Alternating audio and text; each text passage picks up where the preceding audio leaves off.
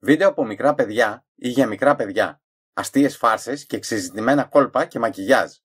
Αυτά είναι τα βασικά θέματα που κυριαρχούν στις επιλογές των χρηστών του YouTube και όσοι διαθέτουν τα πιο επιτυχημένα κανάλια πάνω σε αυτή τη θεματολογία αποκόμισαν για ακόμα μία χρονιά εκατομμύρια δολάρια ο καθένας. Το Forbes ανακοίνωσε και φέτος την ετήσια λίστα του με τους 10 πιο ακριβοπληρωμένους YouTubers μετρώντας όπως κάθε φορά από την 1η Ιουνίου του 2019 έως την 1η Ιουλίου του 2020. Η κατάταξη δεν είχε καμία έκπληξη στην πρώτη θέση, ωστόσο στις υπόλοιπες αρκετοί κατέλαβαν μία θέση για πρώτη φορά, ενώ άλλοι έπεσαν πολύ πιο κάτω από τη δέκατη που θα τους έβαζε στη λίστα.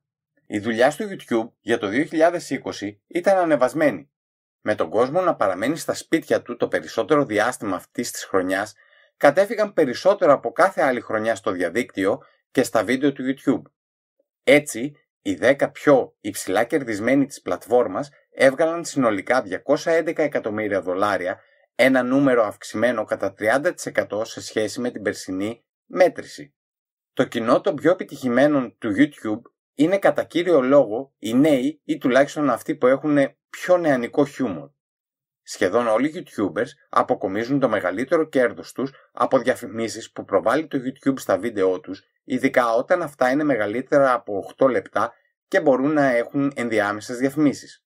Πολλοί ωστόσο αποκομίζουν κέρδη προβάλλοντας προϊόντα συγκεκριμένων εταιριών ή και από προϊόντα που έχουν δημιουργήσει ήδη όπως μπλουζάκια, πουλόβερ ή σκούφους. Όπως αναφέρει το Forbes, ορισμένοι από τους YouTubers της λίστας μπορούν να βγάζουν εύκολα 500.000 δολάρια ή και περισσότερο το μήνα από πωλήσεις τέτοιων προϊόντων. Είστε στο Best Greek Top 10 και σήμερα θα δούμε μαζί τους 10 πιο ακριβοπληρωμένους YouTubers του κόσμου. Jeffree Star. Μία θέση πιο χαμηλά σε σχέση με πέρσι και κατά 2 εκατομμύρια κέρδη λιγότερα, ο Jeffree Star παραμένει στην πρώτη δεκάδα. Ο make-up artist μέσα από το κανάλι του στο YouTube δίνει συμβουλές ομορφιάς και μακιγιάζ ενώ διαθέτει και τη δική του σειρά προϊόντων ομορφιάς. Ωστόσο, αυτή τη χρονιά τα πράγματα δεν πήγανε πολύ καλά για αυτόν, καθώς είχε εμπλακεί σε ένα σκάνδαλο ρατσιστικής συμπεριφοράς και σεξουαλικής παρενόχλησης απέναντι στον επιχρόνια συνεργάτη του και επίσης YouTuber James Charles. Οι συνέπειες από την αποκάλυψη του σκανδάλου, το οποίο ο Jeffree Star αρνείται, ήταν σημαντικές για την εταιρεία Morph ώστε να προχωρήσει στην απόφαση να διακόψει τη συνεργασία μαζί του και να σταματήσει να πουλά τα προϊόντα του. Παρά τα χτυπήματα, ο Τζέφρι παραμένει στη δεκάδα και πλέον πουλά τη σειρά προϊόντων του απευθείας στο κοινό του. Μάλιστα η διάσημη σειρά Conspiracy Collection με σκιές και κραγιόν αναφέρει ότι πούλησε ένα εκατομμύριο παλέτες μέσα σε 30 λεπτά. Με όλα αυτά τα δεινά, ο Τζέφρι κατάφερε να κερδίσει 15 εκατομμύρια δολάρια. David Dorbick Ο 24χρονος David Dorbick με καταγωγή από τη Σλοβακία είναι η πρώτη φορά που μπαίνει στην δεκάδα των πιο επιτυχημένων καναλιών. Στο κανάλι του έχει κάνει μέχρι τώρα σχεδόν τα πάντα για να χαρίσει το γέλιο στο κοινό του. Έχει ξηρίσει ολόκληρο το σώμα κάποιου, έχει προσπαθήσει να δημιουργήσει επικές ποσότητες αφρού, ενώ σε ένα άλλο βίντεο έκανε έκπληξη σε ένα φίλο του, καθώς παντρεύτηκε τη μητέρα του, που ήταν και αυτή βέβαια στο κόλπο και χώρισαν φιλικά ύστερα από ένα μήνα. Στα βίντεο του έχουν εμφανιστεί και διασημότητες όπως ο Τζον Στάμος.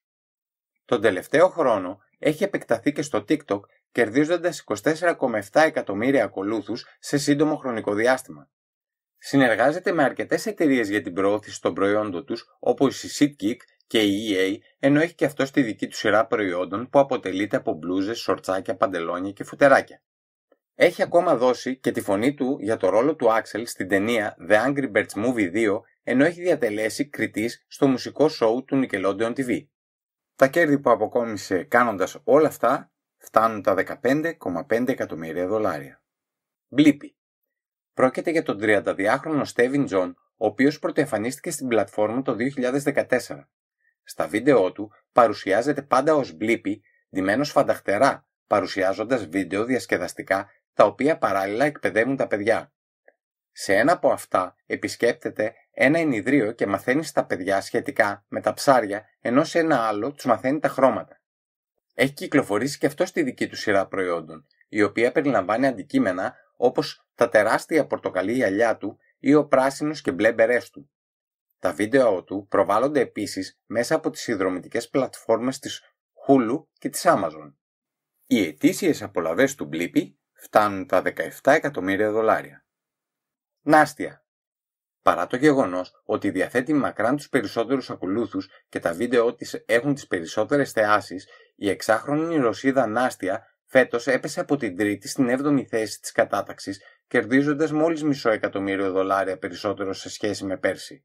Η μικρή Νάστια, η οποία πάσχει από κεφαλική παράλυση, έχει μετακομίσει τα τελευταία χρόνια στις Ηνωμένες Πολιτείες, καθώς οι γονείς της αποφάσισαν να αφήσουν τις δουλειές τους στη Ρωσία και να επενδύσουν στην κόρη τους και στο YouTube. Στα περισσότερα βίντεο, η μικρή παίζει παιχνίδια με τον πατέρα της, κάνουν δουλειές στο σπίτι ή εξηγούν σχετικά με τους ιούς. Η Νάστια έχει αρκετά κανάλια στο YouTube, ωστόσο το πιο διάσημο είναι το Like Νάστια, ενώ φέτος ήταν το πιο διάσημο παιδί στο TikTok με 3 εκατομμύρια ακολούθους. Η Νάστια κερδίζει ετησίως 18,5 εκατομμύρια δολάρια. Πέρσον Αρσεμέντ. Ο 26χρονος Πρέστον Αρσεμέντ από το Τέξας παραμένει για μία ακόμα χρονιά στην έκτη θέση της κατάταξης παίζοντας κατά κύριο λόγο βιντεοπαιχνίδια. Το Minecraft αποτελεί το βασικό παιχνίδι, ωστόσο με τα χρόνια ασχολείται με ακόμα περισσότερα παιχνίδια, ενώ έχει επεκταθεί και σε βίντεο με φάρσες. Τα κέρδη του φτάνουν τα 19 εκατομμύρια δολάρια. Καθόλου άσχημα. Markiplier Ανεβασμένος σε σχέση με την 7η περσινή θέση βρίσκεται ο Markiplier ή αλλιώς Mark Fisbach, Δημιουργεί αστεία βίντεο για βιντεοπαιχνίδια, κομικά σκετσάκια, παροδίες και διάφορα άλλα διασκεδαστικά βίντεο. Μάλιστα, την περασμένη χρονιά αποφάσισε να επεκταθεί και άλλο μαζί με το φίλο του και έτερο παίχτη Ethan Nestor που ίδρυσαν το κανάλι Unus Annus στο οποίο παρουσιάζουν αστεία στάντ. Σε ένα από αυτά δοκίμασαν δεκάδες διαφορετικά κουστούμια του γνωστού πράσινου τέρατος Grits ενώ σε ένα άλλο αλληλοψεκάστηκαν με σπρέι πιπεριού. Υποσχέθηκαν ότι θα ποστάρουν ένα βίντεο την ημέρα για ένα χρόνο.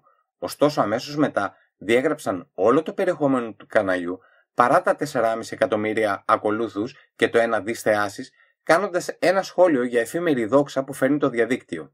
Την ημέρα που θα έκαναν τη διαγραφή του καναλιού, πάνω από 1,5 εκατομμύριο άνθρωποι συντονίστηκαν στο live stream που θα έκανε το δίδυμο. Τα χρήματα που αποκόμισαν για το έτος είναι 19,5 εκατομμύρια δολάρια. Red and Link Σταθερά στην τέταρτη θέση σε σχέση με πέρσι ο 43χρονος Red McCalling και ο 42χρονος Link Neal είναι από τα πιο σταθερά χαρτιά της λίστας. Φέτος αποκόμισαν 2,5 εκατομμύρια δολάρια περισσότερα σε σχέση με πέρσι προβάλλοντας σταθερά κομικά σκετσάκια. Μάλιστα, στην πραγματικότητα έχουν μια ολόκληρη ομάδα καναλιών ξεκινώντας από το Good Mythical Morning το 2012 στο οποίο παροδούν τις πρωινές δημοσιογραφικές εκπομπές. Οι πρώην μηχανικοί τα παράτησαν όλα για να αφοσιωθούν στο κανάλι τους στο YouTube. Το Φεβρουάριο του 2019 μάλιστα, με την αγορά έναντι 10 εκατομμυρίων δολαρίων του καναλιού SMOSH στο YouTube, με κομικά σκετσάκια γιγάντωσαν την εταιρεία τους Myth Entertainment CO, η οποία έχει πλέον 100 υπαλλήλους. Το κοινό του Good Mythical Morning είναι μάλιστα τόσο φανατικό που κάθε μήνα μπορεί να πληρώνει συνδρομή από 10 έως 20 δολάρια για να έχει πρόσβαση σε αποκλειστικό περιεχόμενο. Τα κέρδη που βγάζουν οι δύο φίλοι φτάνουν τα 20 εκατομμύρια δολάρια.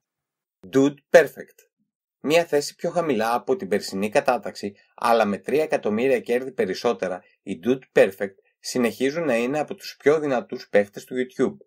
Οι Dude Perfect είναι ουσιαστικά μία ομάδα πέντε παλιών συμφοιτητών του Πανεπιστημίου του Τέξας. Στο κανάλι τους ανεβάζουν αθλητικά βίντεο στα οποία προσπαθούν να πετύχουν απίθανες βολές και στόχους με μπάλες, ενώ έχουν καταρρύψει και αρκετά ρεκόρ Guinness. Τα διάσημα stand τους οδήγησαν στη δημιουργία ενός εθνικού tour που τους απέφερε 6 εκατομμύρια δολάρια. Το Μάρτιο, όταν σταμάτησαν όλες οι αθλητικές δραστηριότητες λόγω της καραντίνας, η ομάδα φιλοξένησε στο κανάλι τους το Guarantine Classic στο οποίο διαγωνίστηκαν μεταξύ τους σε τρίποντα και σε παιχνίδι χόκεϊ με καρέκλες. Μέσα από τη σειρά αυτών το βίντεο συγκέντρωσαν 160.000 δολάρια για να τα δωρήσουν στον Εθνικό Σταυρό και την οργάνωση καταπολέμησης της πείνας Feeding America. Οι ετήσιες απολαβές της παρέας φτάνουν τα 23 εκατομμύρια δολάρια. Mr. Beast Ο Ντόναλτσον είναι το μεγάλο αστέρι του YouTube, καθώς όχι μόνο μπήκε για πρώτη φορά στη δεκάδα των πιο κερδισμένων, αλλά εκτοξεύτηκε απευθείας στη δεύτερη θέση. Αν και έχει περισσότερους ακολούθους από τον πρώτο, οι θεάσεις στο βίντεο του είναι κατά πολύ λιγότερες καθώς φτάνουν μόλις τα 3 δισεκατομμύρια. Τα βίντεο που ανεβάζει είναι μία μίξη από πλάκες και αστείων stand. Μέσα σε 12 μήνες, ο Ντόναλτσον πάγωσε τον εαυτό του μέσα σε πάγο, έκανε χίλιους γύρους με μία ρόδα Luna Park και έχτισε το μεγαλύτερο πύργο με Lego όλων των εποχών. Σε ένα άλλο βίντεο αγόρασε πυροτεχνήματα 180 κιλών και αξίας 160.000 δολαρίων ανάβοντάς τα ταυτόχρονα για την 4η Ιουλίου που είναι η μέρα ανεξαρτησίας των Ηνωμένων Πολιτειών προσελκύοντας σχεδόν 60 εκατομμύρια θεατές. Όπως σημειώνει το περιοδικό Forbes, βίντεο με διάφορα αστεία στάν κατακλείζουν ανέκαθεν το YouTube, ωστόσο ποτέ δεν έφτασαν την ποιότητα παραγωγής που έχουν τα βίντεο του Donaldson. Παράλληλα, ο YouTuber έχει γίνει γνωστός για τα βίντεο του στα οποία μοιράζει μεγάλα χρηματικά ποσά. Για παράδειγμα, την περασμένη άνοιξη μοίρασε 200.000 δολάρια σε αρκετούς ανθρώπους που έχασαν τις δουλειές τους από την πανδημία. Μέσα από τα βίντεο, ο Ντόναλσον προωθεί παράλληλα και τη σειρά προϊόντων που φέρει την επωνυμία Mr. Beast και περιλαμβάνει μπλούζες, φουτεράκια, κούπες και άλλα πολλά. Το διόλου ευκαταφρόνητο ποσό των 24 εκατομμυρίων δολαρίων είναι το κέρδος του Ντόναλτσον. Ryan's World Ο 9χρονος Ryan παραμένει στην πρώτη θέση της λίστας για τρίτη χρονιά. Η δουλειά του είναι να φερεί τα παιχνίδια από τις συσκευασίες τους κάνοντας το λεγόμενο unboxing και στη συνέχεια να παίζει και να βαθμολογεί αυτά τα παιχνίδια. Ο Ryan πρωταγωνιστεί επίσης στη δική τους σειρά Nickelodeon που ονομάζεται Ryan's Mystery Playdate. Τα βίντεο του πλέον παρουσιάζουν ακόμα μεγαλύτερη θεματολογία, με αυτοσχέδια πειράματα φυσικής και αφήγηση παραμυθιών. Αν και ένα μεγάλο μέρος του εισοδήματος του Ryan και όλης τους της οικογένειας φυσικά προέρχεται από το YouTube, το μεγαλύτερο μερίδιο των εσόδων προέρχεται από τα προϊόντα που έχει δημιουργήσει με την επωνυμία Ryan's World. Αυτά τα προϊόντα πολλούνται από εμπόρους λιανικής όπως η Amazon, η Target και η Walmart. Η σειρά περιέχει περισσότερα από 5.000 προϊόντα από φιγούρες, σακίδια πλάτης, είδη διακόσμησης μέχρι και μάσκες και οδοντόκρεμες. Τον περασμένο χρόνο υπολογίζει ότι αποκόμισε από αυτά τα προϊόντα έσοδα 200 εκατομμυρίων δολαρίων. Αξίζει πάντως να σημειωθεί ότι αν και είναι αρκετοί οι θαυμαστές του Ράιαν, έχει και πάρα πολλούς επικριτές. Πολλοί κατηγορούν τον ίδιο και κυρίως τους γονείς του ότι τα παιχνίδια που παρουσιάζουν είναι καθαρές διαφημίσεις και όχι αξιολογήσεις. Μάλιστα, το 2019 αναφέρθηκε ότι η επιχείρησή τους ήταν υποέρευνα από την Ομοσπονδιακή Επιτροπή Εμπορίου. Το παιδί χρυσορυχείο κερδίζει 29,5 εκατομμύρια δολάρια ετησίως. Αυτό ήταν και το σημερινό μας βίντεο. Εσένα ποιο κανάλι σου έκανε εντύπωση; Γράψε μας στα σχόλια. Αν σου άρεσε το βίντεο, κάνε like. Αν όχι, πάτα το dislike. Βοηθήστε το κανάλι μας να μπει και αυτό στην πρώτη δεκάδα των μεγαλύτερων καναλιών του YouTube. Πώς; Απλά κάντε εγγραφή. Πατήστε και κανένα καμπανάκι για να ειδοποιήσετε για τα νέα top 10 που θα ανεβάζουμε. Μέχρι την επόμενη φορά, να είστε καλά.